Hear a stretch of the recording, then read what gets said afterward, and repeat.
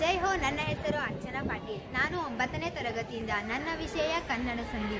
ಸಂಧಿ ಕಾರ್ಯ ನಡುವಾಗ ಏಳು ಪದಗಳು ಕನ್ನಡ ಪದವಾಗಿರಬೇಕು ಅಥವಾ ಯಾವುದಾದರೂ ಒಂದು ಪದ ಕನ್ನಡ ಪದವಾಗಿರಬೇಕು. ಕನ್ನಡ ಪದದಲ್ಲಿ ಮೂರು ವಿಧಗಳು. ಅವುಗಳು ಲೋಪಸಂಧಿ ಆಗಮ ಸಂಧಿ ಆದೇಶ ಸಂಧಿ. ಲೋಪ, ಲೋಪಸಂಧಿ. ಇದು ಕನ್ನಡದ ಸ್ವರ ಸಂಧಿ. ಸ್ವರದ ಮುಂದೆ ಸ್ವರ ಬಂದು ಸಂಧಿ ಕಾರ್ಯ ನಡೆಯುವಾಗ ಪೂರ್ವ ಪದದಲ್ಲಿರುವ ಸ್ವರ ಅರ್ಥ ಕೆಳದಿದ್ದ ಪಕ್ಷದಲ್ಲಿ ಮಾತ್ರ ಲೋಪವಾಗುವುದಕ್ಕೆ ಲೋಪಸಂಧಿ ಎನ್ನುತ್ತಾರೆ.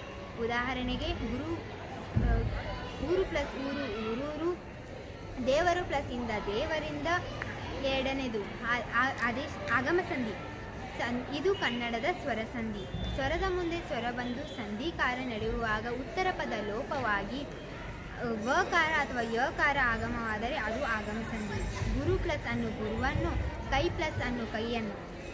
ಮೂರನೇದು ಆದೇಶ ಸಂಧಿ. ಸನ್ ಇದು ಕನ್ನಡದ ವ್ಯಂಜನ ಸಂಧಿ. ಸಂಧಿ ಕಾರ್ಯ ನಡೆಯುವಾಗ ಪರಪದದ ಆದಿಯಲ್ಲಿರುವ ವ್ಯಂಜನ ಬದಲಿಗೆ ಬೇರೊಂದು ವ್ಯಂಜನ ಬಂದರೆ ಅದು ಆದೇಶ ಸಂಧಿ.